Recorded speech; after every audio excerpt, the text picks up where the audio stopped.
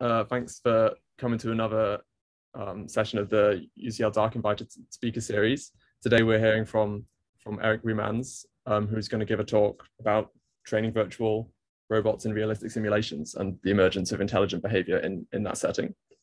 Um, uh, Erik's a PhD student at Georgia Institute of Technology, advised by Irfan Essa and Dhruv Batra. Um, his work is primarily focused on computer vision um, and its applications to, to AI, of course, with a long-term research goal of developing fundamental techniques, algorithms, and large-scale systems for robotic assistance.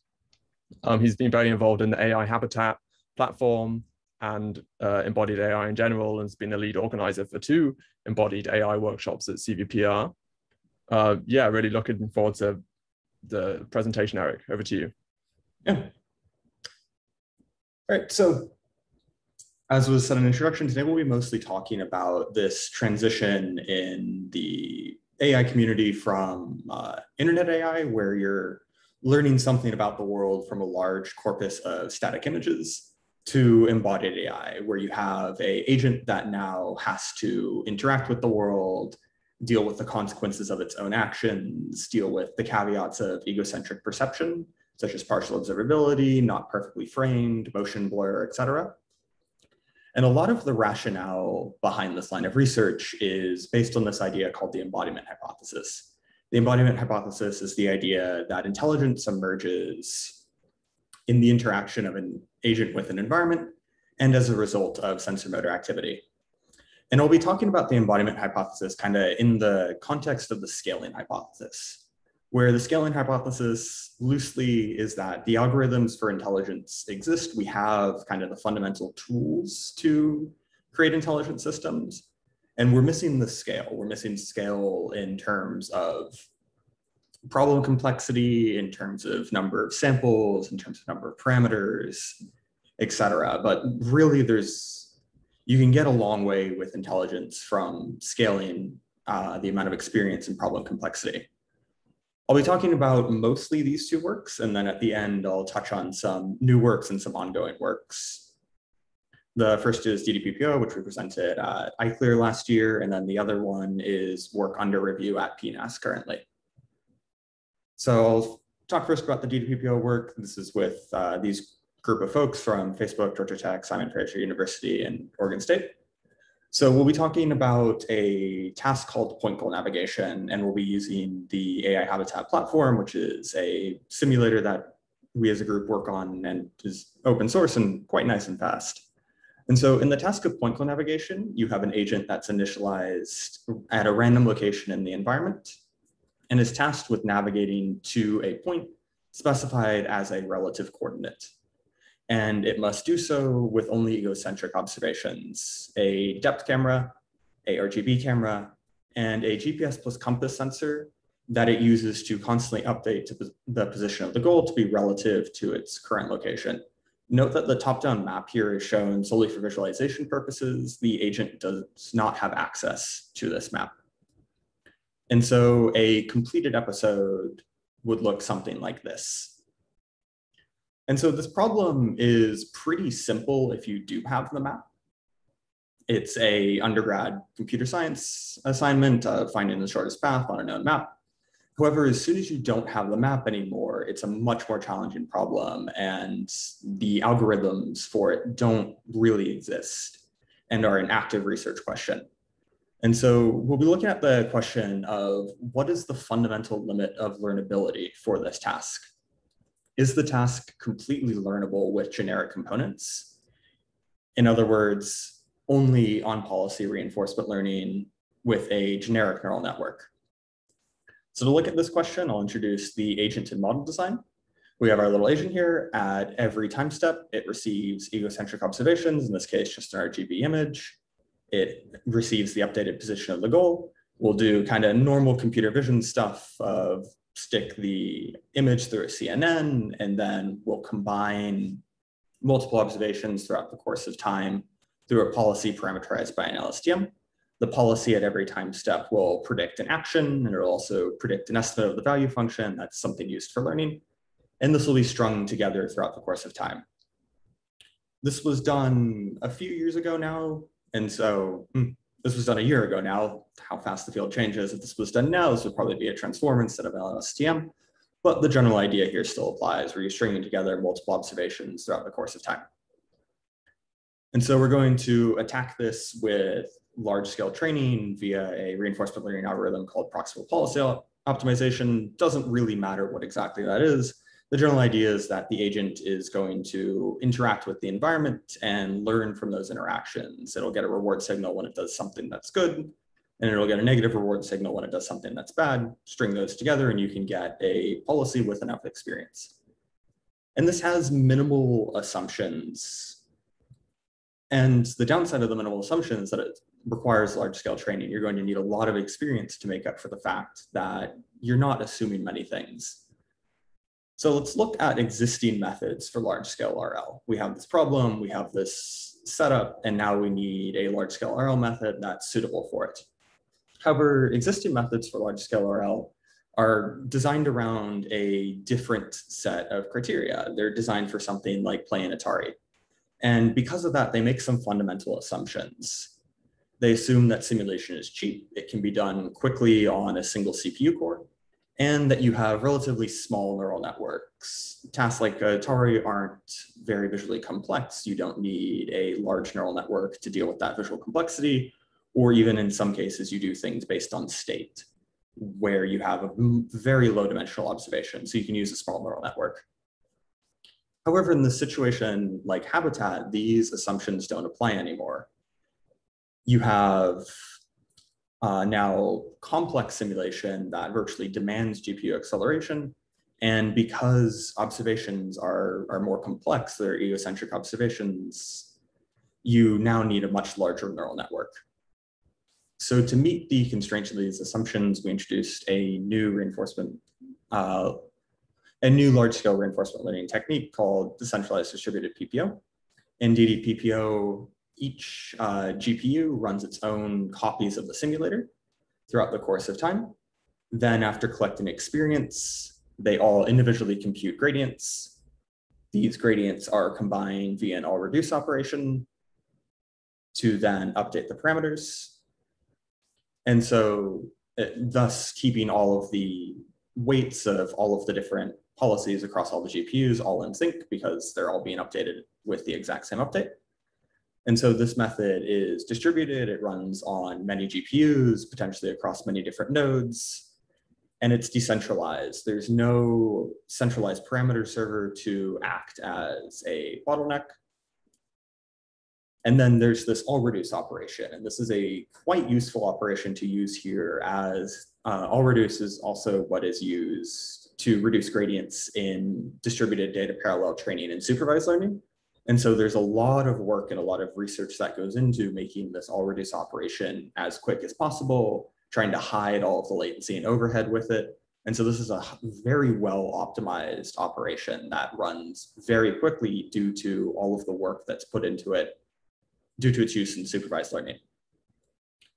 And so now we'll look at how well DDPPO scales so the ideal scaling is to have a simple x equals y line. So you have perfect scaling where you add another GPU and you get that much more performance out of it. If we do a naive version of this idea of synchronizing everything together with all reduce, you'll get the red line here. And then DDPPO has a method to deal with something called stragglers. Stragglers are different GPUs that are going to be running at slightly different speeds due to things like kernel scheduling, driver scheduling, and also just the environment that they're simulating at its core can be quite different. And so that'll take longer or shorter depending on the complexity of the environment. And but with the method that we propose for dealing with these stragglers, which we call straggler preemption, where you simply cut off the amount of experience, you cut short that amount of experience if a if something's running slow, you get this quite good scaling. You get a 196x speed up across 256 GPUs. And so this gives you quite an amount of scale. If, if one GPU is running at 100 steps per second, you can then hit 20,000 steps per second. So now we'll look at the performance of point goal navigation trained to quite a large scale with this type of system. So using DDPPO, we trained a policy for 2.5 billion steps of experience on point goal navigation over, which is over 180 days of GPU time in just under three days of wall clock time. So you can see that the performance here, keep in mind that this is performance on a held out validation set. These are scenes that have never been seen before. And so the agent is navigating in a unknown environment with perfect success. And that is due to the scale of training. This is um, over an order of magnitude more experience that was than was previously looked at. And you can see by this graph that that additional order of magnitude is what lets you go from pretty good performance to near perfect performance. And so despite this very high performance, we do see some interesting behavior in the agents. Uh, particularly, it's very good at backtracking which is somewhat surprising given that on the training set at least, it takes the optimal shortest path every time. And so it's interesting that it knows how to backtrack despite not doing that pretty much ever on the training set. So this is an example of a validation environment where the agent nicely backtracks, where it misses the turn into the bedroom to get to the goal. It notices that and then backtracks to get to the goal.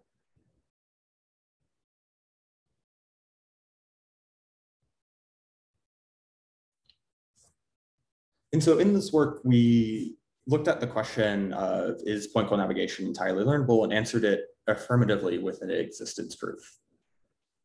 And really the only task specific assumption that we made here is a shaped reward.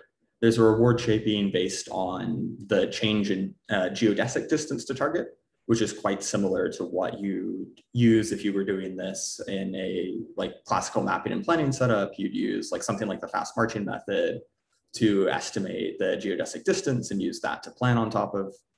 And so that reward is quite similar in that regard, but nothing else is really specific to the task. It's generic on policy reinforcement learning, a generic RNN, a generic CNN, but you still get very strong performance thanks to large scale training. So now we're going to look a little bit more into these navigation agents and what exactly they're looking at. This is work with, again, a similar group of folks. And in this work, we're looking at these agents through the context of animal navigation. So there's been decades of research into how animals nav navigate. And that research posits that organisms build and maintain spatial representations of their environments or, or maps in their brain. There's evidence that ants do this. There's evidence that bats do this, even blind mole rats, so animals that are actually blind or animals that are situationally blind due to darkness, maintain maps, and chimpanzees. This chimpanzee experiment in particular is quite foundational and quite interesting uh, so the way that this chimpanzee experiment works and the reason why there's a strong hypothesis that chimpanzees have some spatial representation of their environment is due to this idea called shortcuts. So what this diagram is showing here is um, all of the nodes indicate areas of food. So all of the numbers with a circle is somewhere where there's food and all of the numbers on those circles are the order that a caretaker of the chimpanzee visited those locations. So the caretaker picked up the chimpanzees, started at the S, which is start, walk to one, walk to two, walk to three, four, five, so on and so forth. Then after showing the chimpanzee all of these locations, the chimpanzee was put back at the start location and released into the environment to find the food by itself. And then the line here is the path the chimpanzee actually took. And so you can see that the chimpanzee is taking a very different route than what it was shown. It's it's cutting out like weird trips that the caretaker took, and it's overall traversing faster than previously was done. And so this really indicates that the chimpanzee spatially understands its environment. It knows where those locations are with their spatial relationship to each other. And so it's able to take different paths that are referred to as shortcuts, which are path, which are shorter paths between two nodes than have been previously traversed. So they're shorter paths through free space environment, through uh, free space of the environment, previously untraversed free space. So in this work, we're going to look at the question of do artificial intelligence agents learn to build maps of their environment as a natural consequence of learning to navigate? So a positive answer to this question would shed light onto the internal workings of black box AI navigation agents. So these navigation agents from the DPPO paper, we don't know how they work. We don't really know what's going on inside of them. We can just look and see, okay, it does well on navigation this would give you some idea of what it's doing internally. It's possibly building some map-like representation of the environment and then using that for navigation.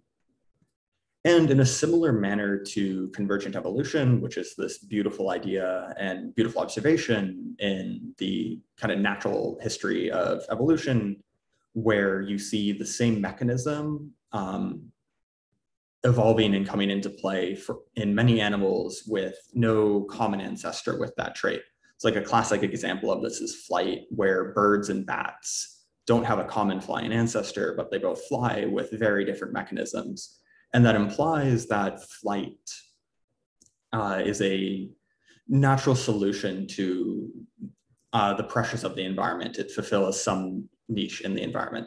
So in a similar way here, we'd see that maps are perhaps a natural solution to navigation, where we're seeing maps in a agent that is quite generic and doesn't make any assumptions. If maps emerge, that, that perhaps implies that they're a natural solution to navigation. So we're again going to look at this in the context of point goal navigation, however, with a slightly different sensor suite on the agent this time.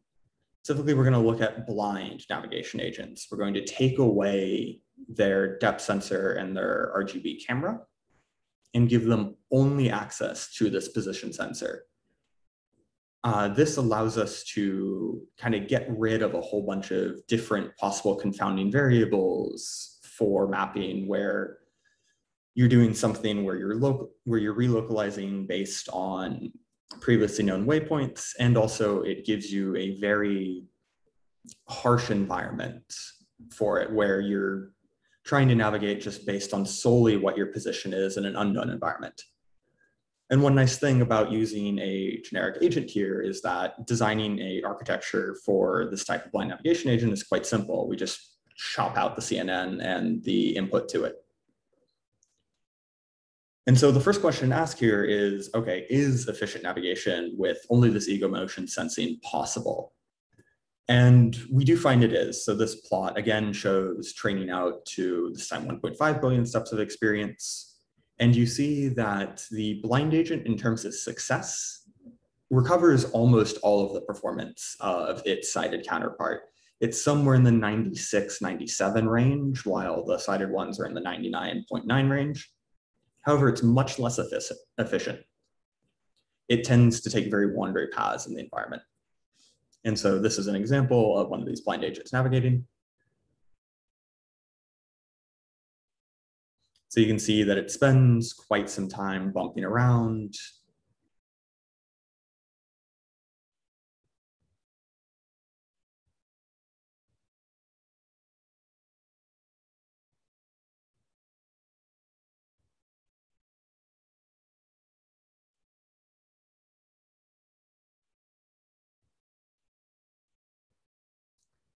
And while quite inefficient, this blind agent will eventually make it to the goal. It's, it's quite good at kind of exhaustively exploring its environment and then getting to the goal.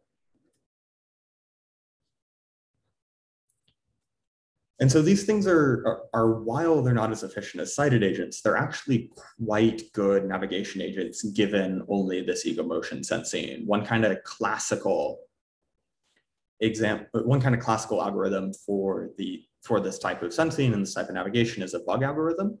And those are algorithms uh, on this diagram here that basically follow walls and use that to make it to the goal. And so these bug algorithms do have 100% success. They will always make it given an infinite step budget. However, these blind navigation agents are much more efficient. So they achieve 63% SPL, which is basically a 63% path, path efficiency, while bug algorithms are somewhere in the 40%. And this is even for what we call a clairvoyant bug algorithm that is given whether or not at a wall it should wall follow left or wall follow right. Then the other one interesting thing here is this wall following behavior. And so this windy path here. This wall following behavior it is an emergent property. It's something that the agent learns to do. And it's somewhat counterintuitive because this is not the, the optimal policy. And it, at least it's not the optimal policy if you knew the environment. And so this policy emerges because the environments are unknown the agent doesn't know which environment it, it's in. And this is functionally true even in the training set, because while the agent in theory could learn to memorize and identify all the environments, it's not functionally possible. And so, and that's largely due to the fact that the coordinate system is episodic. The it, when the agent is initialized in the environment, that point is zero, zero. And so it becomes very difficult for the agent to figure out, even in the training set, which environment it's in and where it is in that environment. And so this wall following behavior is, it, it, emerges due to the fact that the agent is learning a policy for navigation in unknown environments. If the environment is known and you give the agent global coordinates, then it perfectly recovers the shortest path in the environment. It'll, it just memorizes all of the different paths between all of the different goal points and gets a success of 100% with perfect path efficiency.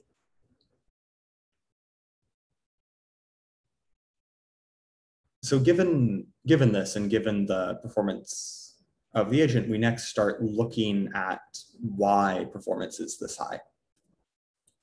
And so the big thing that we find is that memory, the agent's memory is key to its performance.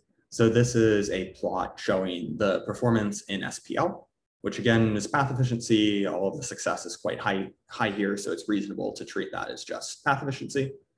And so as we increase the effective memory length of the agent over time, we see that performance monotonically improves and doesn't saturate until the agent has a memory capable of incorporating over a thousand steps of information into it.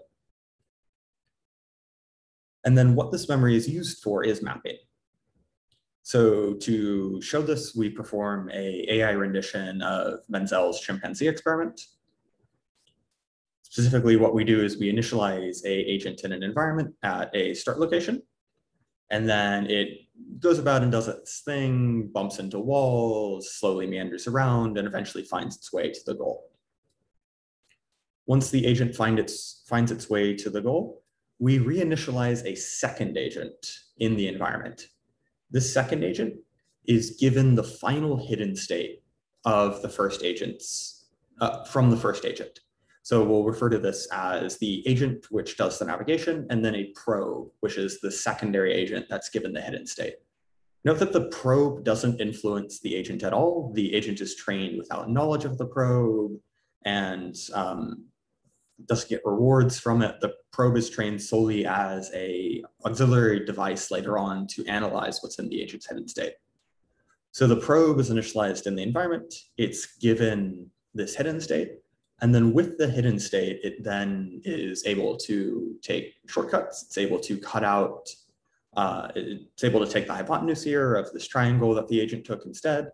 And it's also able to remove entire excursions where the agent went into this office here, wandered around for a bit and came out.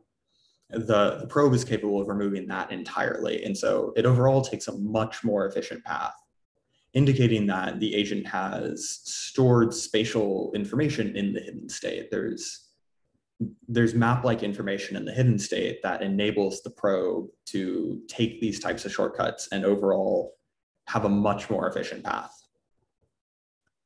Uh, so quantitatively, we look at this in terms of two different task types. So what I just showed is what we refer to as uh, second nav S to T, second nav start to target.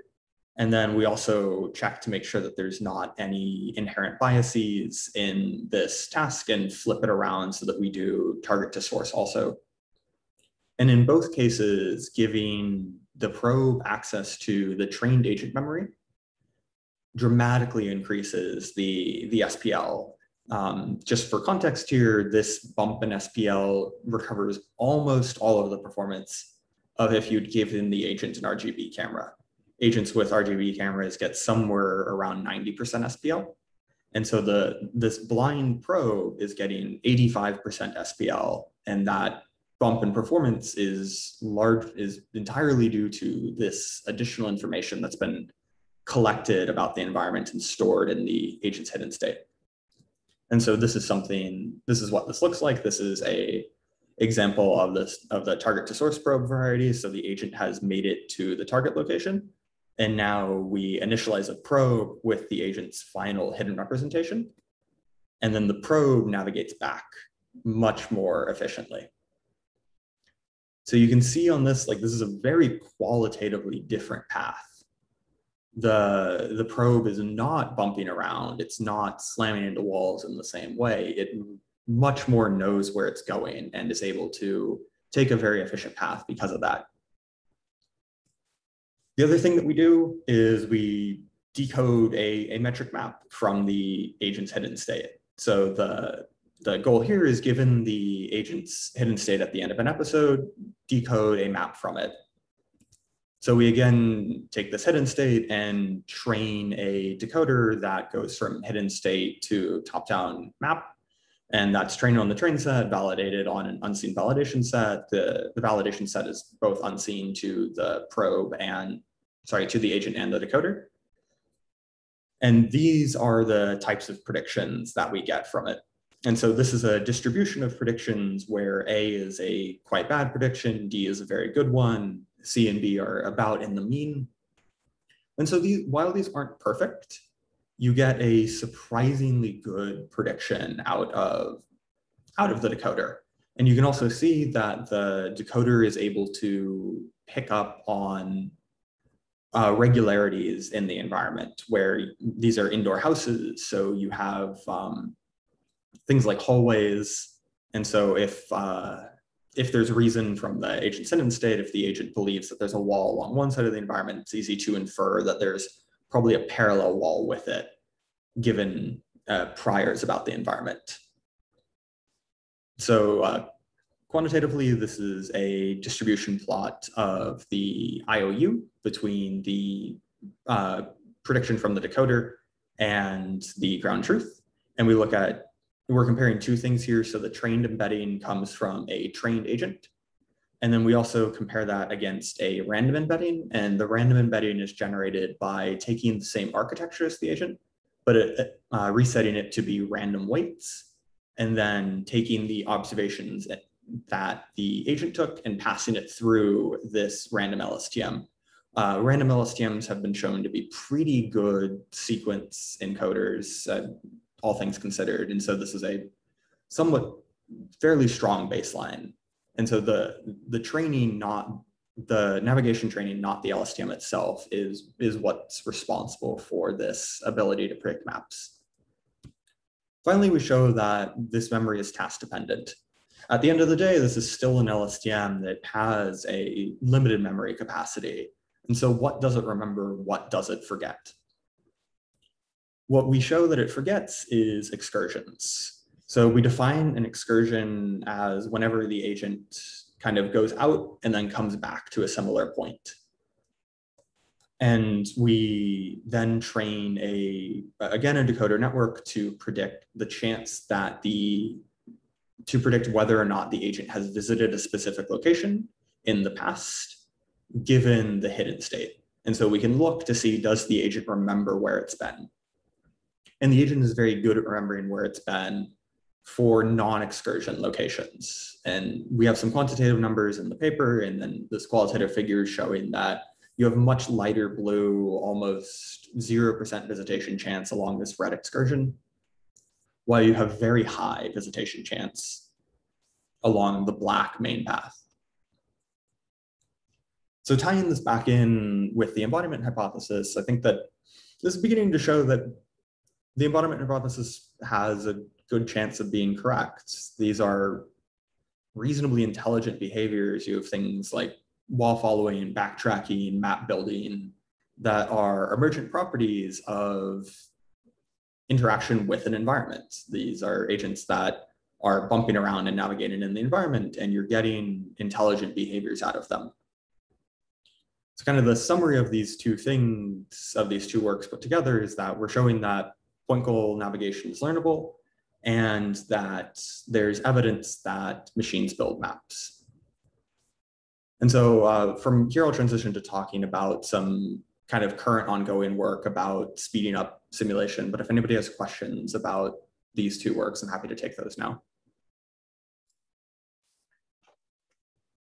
Um, I mean, I think we also have time at the end for for for questions, but um, I guess one thing that um, I'm wondering is, um, like, I guess I guess there's a simulation gap, right? I mean, in terms of, or better said, a reality gap, right? I mean, ultimately, I understand. I guess you do these things in these kind of 3D, kind of photorealistic simulated environments, such that eventually, I would say, right, we can take maybe um, something like we've done there and apply to like robots in the real world, right? Otherwise, we could, I guess, investigate many of the research questions here also in, in, in grid worlds, which I guess there's this kind of ongoing debate whether like grid worlds are great to do research or like whether we should be doing research in these um, in these 3D simulated environments. But I was just wondering, like for example, the uh, the the things we, you were just talking about. I mean, couldn't we have investigated the same things in in grid worlds? Um, or is there something about these kind of 3D simulations that really allow us to get like new insights, right, or, or different insights that we couldn't get from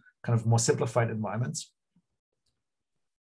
I think uh, for the for the case of blind agents, yeah, grid world would likely also be a good place to do this. You, you have the benefit of kind of it, with these 3D simulations, you have the benefit of extracting your, your maps from the grid world based on the real world. And so you have some of the kind of realistic priors that, that happen in the real world baked into that. And I think that that's part of it, where if this was truly a random environment, like truly a random maze, I haven't tested this, but I'm not as convinced that you'd get mapping here just because it's it's such a more complex space. I think some of the the underlying structure of the environment is what lets it learn mapping. So I think that that's part of the benefit of 3D simulation is you get this injection of realistic type priors. And then there's the, the whole addition of vision which I do think is, is quite an important component.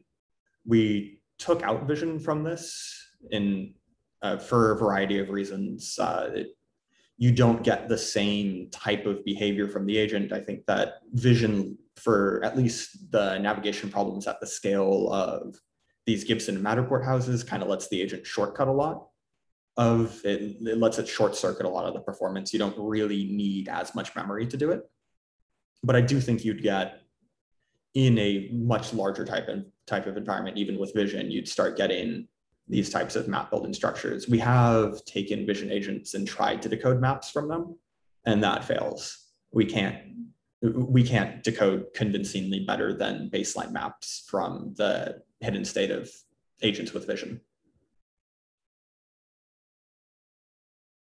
Cool, thanks. Yes, and I'll start talking about some kind of ongoing work, and this is focused mainly on really speeding up uh, complex simulation. And so this is some ongoing work that I'm calling, for now at least, uh, variable experience rate reinforcement learning. And so as a group, one thing that we've done recently is released Habitat 2.0. And this is kind of our next generation of of Habitat, this includes a lot more physics interaction. And so this allows you to do tasks where you have an agent that's rearranging the environment, it's opening fridges and taking objects out and putting them on the counter, etc. And while the simulator itself is quite fast, the, the training with it is a little bit slower than it could be and should be. And so kind of the core issue here is that a common way to get more parallelism, more performance out of a simulator is to stack a whole bunch of environments in separate processes. However, none of these environments really run at the same speed. So you'll get different amounts of time to for them to all complete their simulation step and give you the next observations. Then in a reinforcement learning type paradigm, you'd take that, send it through inference to predict new actions, and you'd send actions back out. And again, you have this issue of there's some environments are slower than the others. And then this process continues throughout and throughout until you get to learning.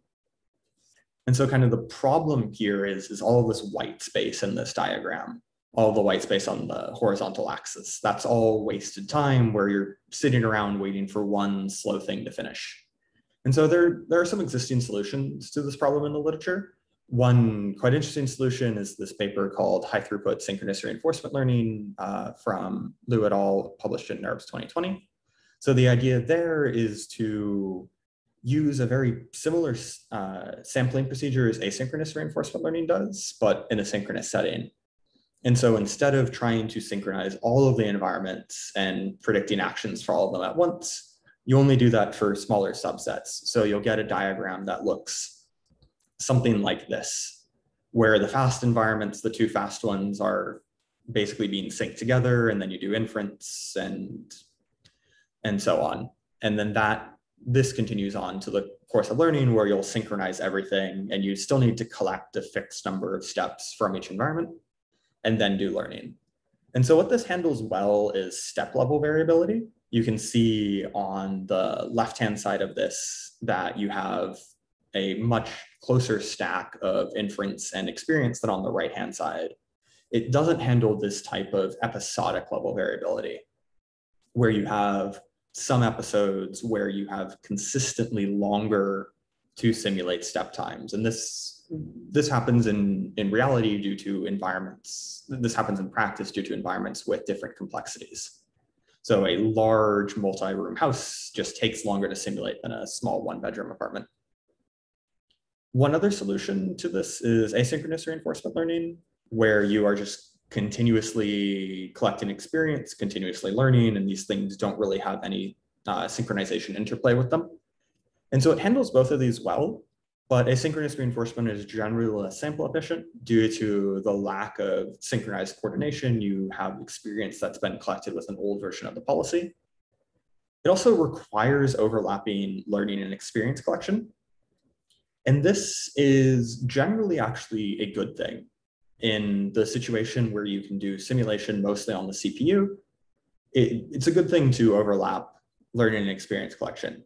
However, GPU uh, driven environments, it's not that great to overlap these things anymore for, for two reasons.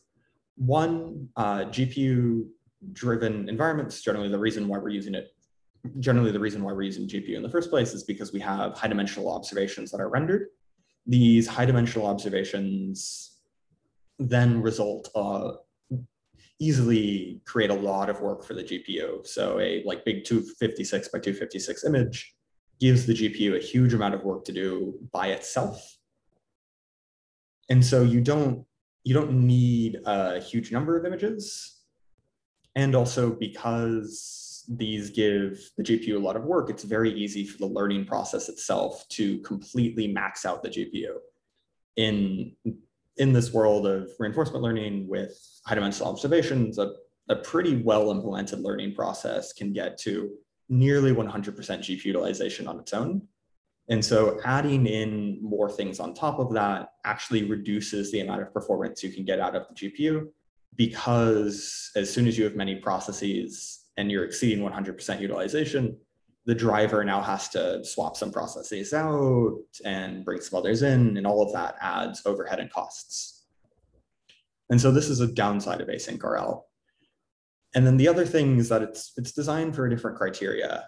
They are systems that are designed to have hundreds, if not thousands of environments all feeding a single GPU.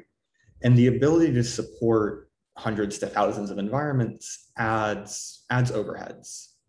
Those overheads get masked and amortized out due to that number of environments. But in a situation like Habitat, you can really only get 16, maybe 32 environments to fit on a single GPU at best. And that's not high enough to amortize out those fixed costs. And so if you instead build something that really only can scale to that size, you can get more performance by not having those overheads due to scaling. The core idea that I've been playing around with is uh, what I call ragged rollouts. So normally in synchronous reinforcement learning, you have a rollout that contains k steps of experience from n environments. And the idea here is to collect a variable amount of experience from different environments, no longer fixing the amount of steps that you'll, you'll collect. So you'll collect more experience from fast environments and less from slow ones. So that looks on this diagram from before.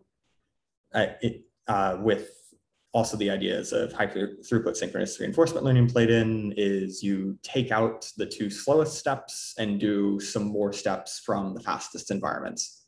And so this gives you overall higher throughput and higher performance with the downside of now having some bias in, in your gradient estimate because you're no longer sampling uniformly from all the environments. However, I will note that this is something that asynchronous reinforcement learning does implicitly.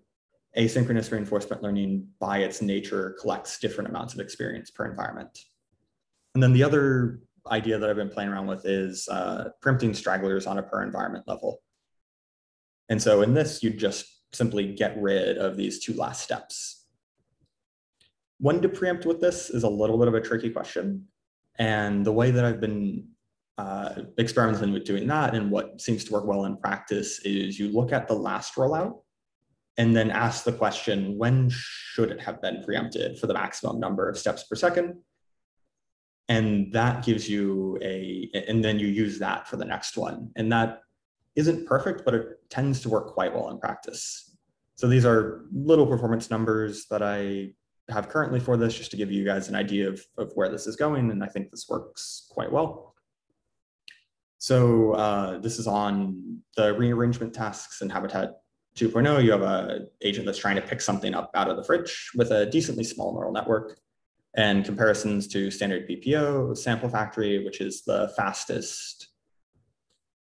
Oh, it looks like not all of my changes to the acronym saved on this. So VSF and VER are the same thing, just I changed the acronym for it recently. So sample factory is a very high performance uh, asynchronous reinforcement learning library. And then we have the different variants of my proposed thing. And so this is this ends up being slightly faster than asynchronous reinforcement learning in a domain that's pretty amenable to it, where you have a small neural network. As soon as we start talking about larger, larger neural networks, I think that this will end up doing better, but I haven't uh, tried that out just yet. Then the other thing that I quickly wanted to touch on is kind of where I see uh, high throughput reinforcement learning systems going in the future. So this is kind of a proof of concept work that we presented at ICLR this year. And so as we've been talking about, simulating only one environment underutilizes modern GPUs.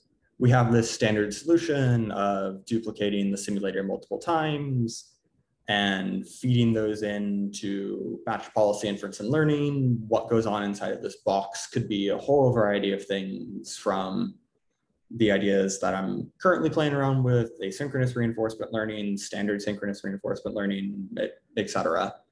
But all of these ideas have some inherent downsides to them. You can't share large 3D assets in GPU memory. If you have a scene that takes up a gigabyte of GPU memory, if you want another simulator, you need another gigabyte of GPU memory. There's also synchronization overheads that increase with the number of environments. So this leads to a problem that the available parallelism is just limited because you you can't scale out your parallelism infinitely because you'll either run out of GPU memory or your your synchronization overhead scale linearly if at best. And so eventually you'll be dominated by those. In this work, we show that by getting rid of those, by dealing with these issues, you can get a 100x improvement over the point navigation training that we did in the DDPPO paper. And the core idea here is around batched simulation. So we rethink environments and rendering in terms of, of batches, where now instead of a simulator instance simulating one agent, it simulates a batch of them. The simulator itself takes in a batch of n actions and produces a batch of n states internally, this has a bunch of threads, and so it extracts parallelism itself by using a thread pool. And then this is given to a batched renderer. The batched renderer has n 3D environments running on it. And these all reference some number of scenes k that's much less than the n number of environments, which lets you have many more environments than you do scene assets. And you can share the memory of these scene assets between all the environments. And then these n states and n frames are passed back to learning and inference to do the normal learning and inference loop. We use synchronous reinforcement learning here. And so this is a output of what the batched renderer looks like. So this is n environments all being rendered and simulated in a single GPU request. And that lets you amortize a whole bunch of overheads. And so batch rendering makes new optimizations possible. You can share 3D assets. Multiple assets uh, can be interchanged without reconfiguration. And also there are a bunch of low level optimizations that you can make on the renderer side to um, to amortize the cost of a bunch of fixed overheads in there. And so with the exact same neural network, with a big ResNet 50 neural network, this system is about a 10x improvement. But over 90% of that time is spent on DNN operations. And so we also look at using a much smaller neural network based on ResNet 9, where we take ResNet 18, chop out half the blocks, and then some little additional optimizations in there too. And that gives us a 100x speed up. So I kind of see batch rendering in physics as the future of fast simulation. I think that that is where we're going. However, we're still a ways off from these not being bespoke one-offs. And that's and that's due to the realities of doing this. This is quite tricky. You end up implementing these things purely in C++. However, I think that there's research to be done and a interesting direction to go of looking at like JIT compiling Python into something like this and running it with C++ style parallelism, uh, domain specific languages and such. So I'll transition back to my summary slide and that's all I got for you guys. Thank you very much.